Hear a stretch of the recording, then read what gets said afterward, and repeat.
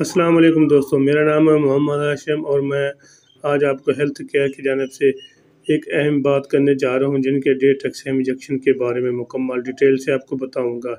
ان کی کیا یوزز ہیں، ان کی کیا نقصانات ہیں، کیا آپ اس کو پریگنسی میں استعمال کر سکتے ہیں، ان کی پرائز کیا ہے، ان کے بینیفٹ کیا ہیں اور کینسی کون سی بیماری میں آپ نے اس کو یوز کرنا ہے۔ سب پلیز سب سے پہلے میں آپ کو بتاتا چلوں، جو میرا ویڈیو یا میری چینل پہلی بار دیکھ رہے ہیں ان سے میری ویڈیو کو لائک ضرور کر دینا اور میرے چینل کو بھی سبسکرائب کرنا نہ بھولیے تاکہ آپ کو میری ہر نئی آنے والی ویڈیو آپ تک پہنچ سکے اور میری ویڈیو کو بھی اینڈ تک ضرور دیکھا کرتا کہ آپ کو اس کی مکمل ڈیٹیل معلوم ہو سکے۔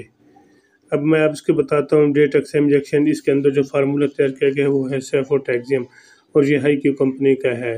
یہ تھا اس کا مختصر سر تعارف، آگے چل کے بتاتے ہیں کہ کون سی یوزر میں آپ کون سی بیماری میں آپ نے اس کو استعمال کرنا ہے۔ دوستوں کی کیا جنرل پوزیشن ہے؟ کہ آپ کیا اس کو میل کیسے استعمال کر سکتے ہیں اور فیمیل کیسے استعمال کر بچوں میں کو کیا کیسے استعمال کر سکتے ہیں؟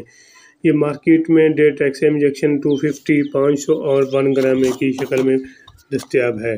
کیونکہ یہ پاکستان کی اچھی کمپنی اور ہر اچھی کمپنی ہونے کے ناطے آپ کو ہر فارمیسی ہر میڈیکل اسٹور سے آسانی سے مل جاتا ہے۔ اب میں آپ کو بتاتا ہوں جس کے بینیفٹ اور کون سی بیماری آپ نے یوز کرنا ہے۔ سب سے پہلے میں آپ کو بتاتا چلوں اگر بچوں میں ڈائریا پھیلا ہوا ہے۔ اس کے علاوہ بچوں میں نیمونیا ٹائیفائڈ ملیریا، بخار ہے، گلے کا مسئلہ ہے، چیسٹ انفیکشن پھیلا ہوا ہے۔ آپ نے بے فکر کر میڈیکل اسٹور سے آپ آسانی سے لے کر استعمال کر سکتے ہیں۔ ایک اچھا اور بہترین ریئیکشن ہے سیفوٹیگم۔ اس کا اور یہ کمبینیشن کے ساتھ بھی استعمال کیا جاتا ہے۔ ایسے مریض جن کو گنوریا کا مسئلہ ہے یو ٹی اے کا مسئلہ ہے اسٹرومیٹکس کا مسئلہ ہے یعنی کہ اسٹرومیٹس کا مطلب ہے بون انفیکشن۔ اگر بون میں اگر کسی قسم کے یعنی کہ فریکچر کے بعد انفیکشن پھیل جاتا ہے، بعض کو ایسے بھی ہوتا ہے کہ گرنے کی وجہ سے ہڈیوں میں سوزش بن جاتی ہے اور یعنی کہ وہاں پہ سوجن ہو جاتی ہے، جس کی وجہ سے اندر کافی سویلنگ ہونے کی وجہ سے انفیکشن پھیل جاتا ہے۔ اس قسم کے مسئلے کے لیے ڈیٹ انجیکشن اچھا اور بہترین زبردست اینٹی بائیوٹک ہے۔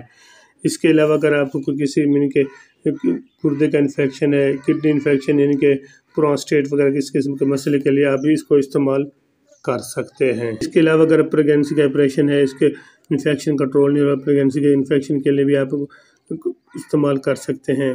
اور دوسرا یہ ہے کہ خاص کر ایسے میں جن کا سکن کا مسئلہ ہے اور سکن میں کا اور دوسرا یہ اگر سکن کا مسئلہ اگر آج کل سکن کا مسئلہ کافی پھیلا ہوا ہے گرمی کی وجہ سے گرمی کے دانے نکلے تھے۔ اس کے لیے بھی ایک اچھا اور بہترین اینٹی بائیوٹک ہے۔ آپ اس کو بے فکر ہو کر استعمال کر سکتے ہیں۔ کہ آپ پریگنسی میں بھی اس کو استعمال کر سکتے ہیں؟ پریگنسی میں آپ اس کو اپنے ذاتی، پہلے اپنے ذاتی معاملے سے مشورہ کر کے استعمال ضرور کر سکتے ہیں۔ اگر آپ کو اپنی اس کی اجازت اگر کیونکہ آپ کو اس کے استعمال سے آپ کو کوئی مسئلے، مسائل ہو سکتے ہیں۔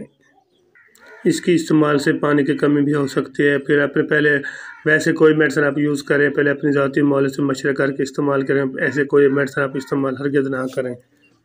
خاص کر ایسے مریض جن کو جگر مسئلہ ہے مرگی ہے، ایسے مریض کو میڈزم اینٹی بائیوٹک کوئی بھی اینٹی بائیوٹک یوز کرنے سے پہلے پہلے اپنے ذاتی معاملے سے مشورہ کریں، پھر استعمال کریں۔ اگر اس کے استعمال سے اگر آپ کو کوئی قسم کا مثلاً وومٹ شروع ہو جائے سکن الرجی شروع ہو جائے وومٹنگ شروع ہو جائے، اس کے علاوہ سر میں درد شروع ہو جائے، پیرن میں سوزن شروع ہو جائے، پھر اس کو ہرگز استعمال نہ کریں۔ پہلے اپنی ذاتی معاملے سے مشورہ کریں، پھر استعمال کریں۔ ویسے بھی اگر کوئی میڈیسن استعمال کریں۔ پہلے اپنی ذاتی معاملے سے مشورہ کر کے استعمال کیا کریں۔ اگر میری ویڈیو اچھی لگے تو میرا چینل کو سبسکرائب کرنا نہ بھولیے گا۔ اس کے علاوہ اگر کوئی اس کے متعلق کویسٹن ہو تو کویسٹن بھی آپ مجھے کر سکتے ہیں، تاکہ آپ کو اس کی میں انفارمیشن دے سکوں، اپنا اور اپنے دوستوں کا خیال رکھیے۔ اللہ حافظ۔